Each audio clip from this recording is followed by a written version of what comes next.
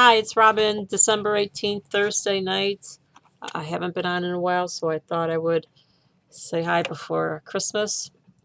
And uh, I was part of Aaron uh, Gimme Yarn 418's Secret Santa, and Zoe, um, I'm no, Zoe, Zoe of 24 Karat Crochet was my Secret Santa, and she sent me a set, a hat and scarf set. Beautiful from J, um, J.C. Brett, James C. Brett. I'm sorry, James C. Brett. It's beautiful. It's nice and soft and fits great. She also bought me this cheap laughs. Um, she said it's uh, British humor. She thought I would like it. It's very nice. And um, she got me that. She also bought me a pound of the Marks and Spencer coffee, which is absolutely delicious. The F and I really like it. And a package of extremely chocolatey dark chocolate rounds, which there's only two left. One for me, one for the BF. These are delicious. It is exactly what it says. It's mostly chocolate, not a lot of biscuit. It it's dark chocolate. It is very, very delicious. And last but not least, a skein of J James C. Brett Marble Chunky. I love it. Cannot wait. Cannot wait. I was thinking of a pair of um, fingerless mitts, maybe, or um, a tea cozy, because I'm going to be doing the tea cozy along with um, Tilly Trout and I watch her every week or every time she puts up a video. If you do not watch Tilly Trout, you are definitely missing out. She is wonderful. She is a wonderful um, vlogger, um, very down to earth, very uh, just very personable. She's very very nice, and um, her um, the the forum and Ravelry is all the people there are so nice and uh, the inspiration and the encouragement and the chat. Anyway, she's doing a tea cozy along. It starts, uh, I think it's January 12th. I think I've got my pattern. Um, and it was, I, I so wanted to copy. Um, she had a picture of, um, it was Starsky and Hutch. It was a white cardigan around a, tea, a teapot. And it's like, I think two or three women others are already doing it, or else I would do that because I just think that's so funny. And I used to love to watch Starsky and Hutch, but um, there's a um, it's a spring garden I think it is. I'm, I'm not quite sure, but I think I'm going to do that one. I've, I have to get some some yarn because this is too dark. This would be the right um, texture. It's supposed to be a, uh, chunky for the actual um, cozy part of it in the pattern uh, but I need light. And the and the wool that actually the um, designer used was Lincraft Big Wool from Australia. And they don't make that anymore, of course. So I've got to try to find something comparable. I think I did find something at, um, oh my goodness. And I, I think I wrote it down. It was Harps and Thistles. It's in Ohio. Um, the BF and I may be making a um, road trip this weekend. Not sure yet. Depends because of the craziness. So that was the Secret Santa. It was wonderful. And um, that was great. And the last time I uh, I vlogged, I was I showed a couple of um, project bags that I had sewn because I um, didn't have the money to to spend um, you know, and I, I used to quilt quite a lot, and I have tons, tons, tons of material. Um, it is quilting material, uh, but I didn't know how to put in zipper, and I learned, I, I learned. I taught myself how to put in a zipper, and I had made, I had showed one or two. Well, the dog got a hold of one. So I made another this was my next one. It has a zipper. And it's a bigger one. This is for the sweater. This has my um, last month's yarn box and um, wool in it. And I'm going to make a my first raglan my first raglan pullover with it. So that's its home. And this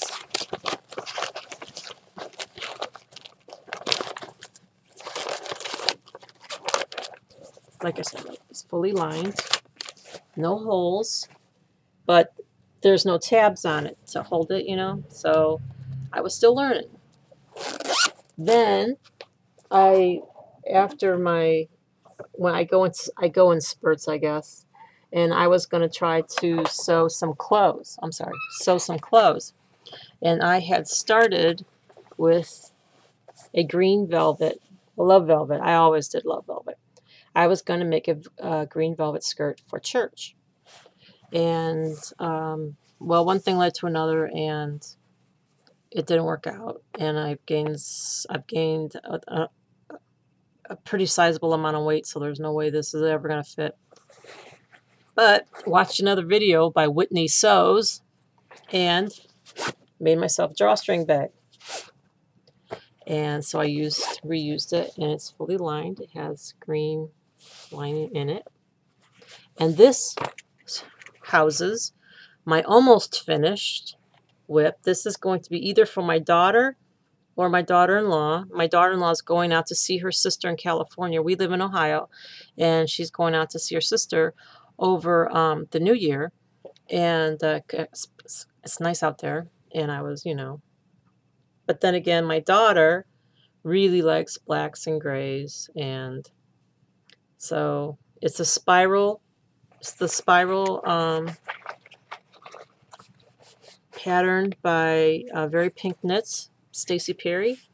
That was her free pattern.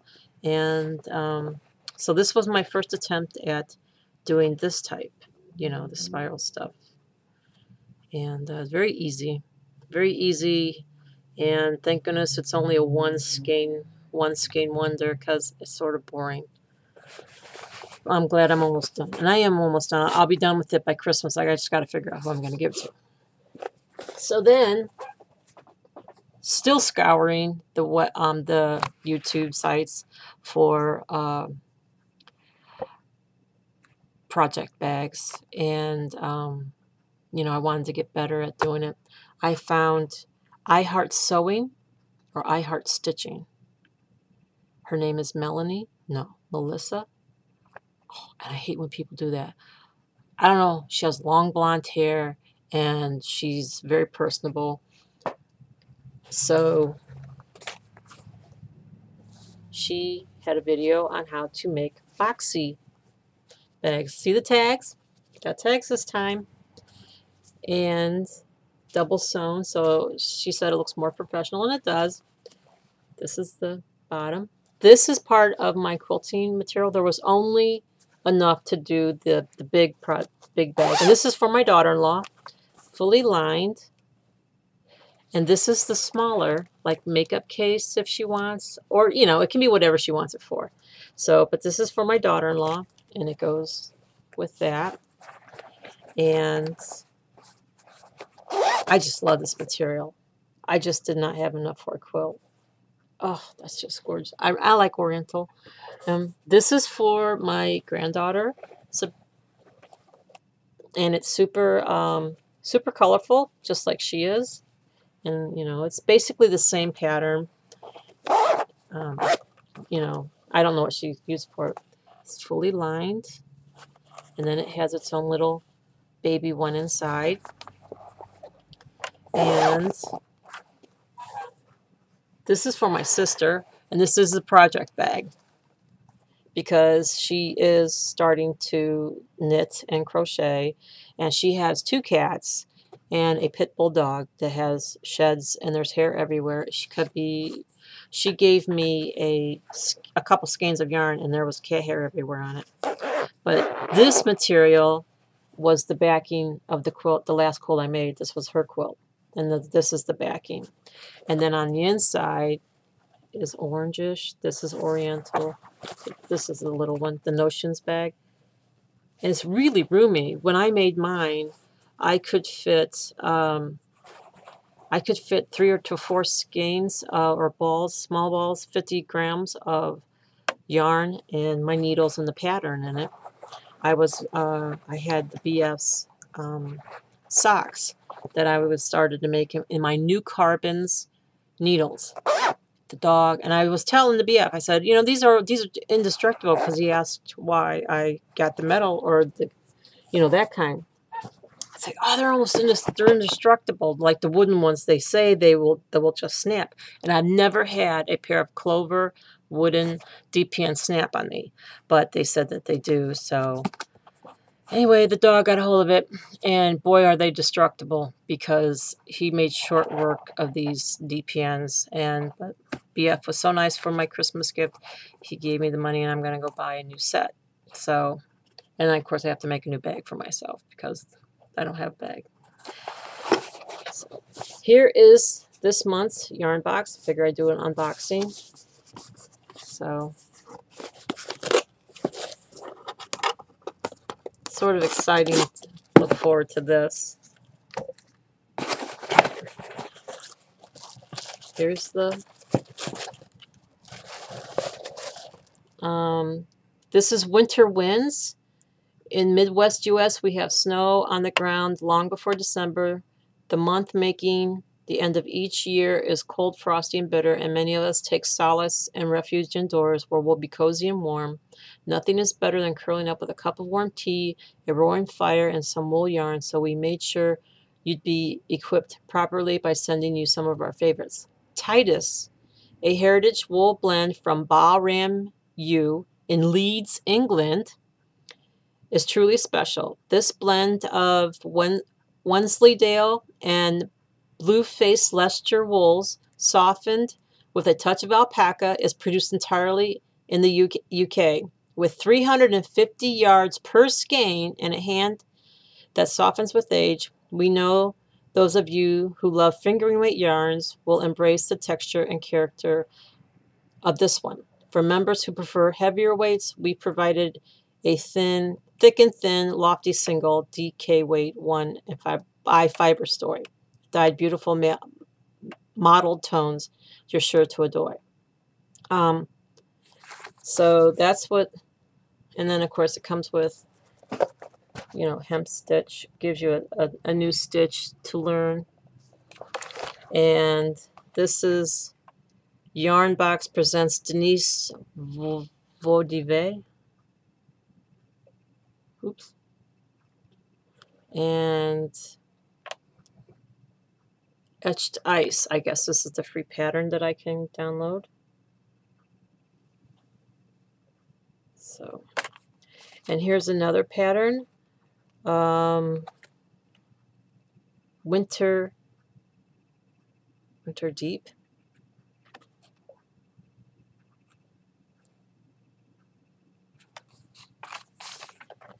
So here we go.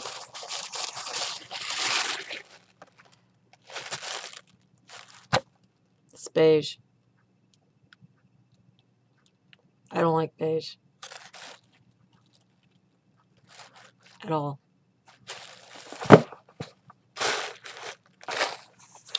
Wow.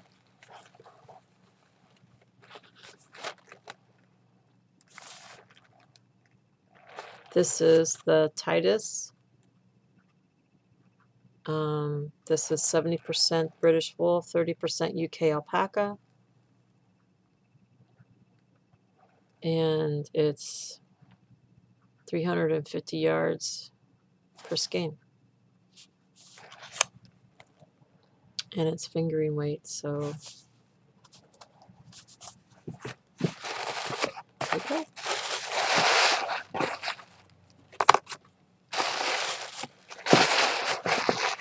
So,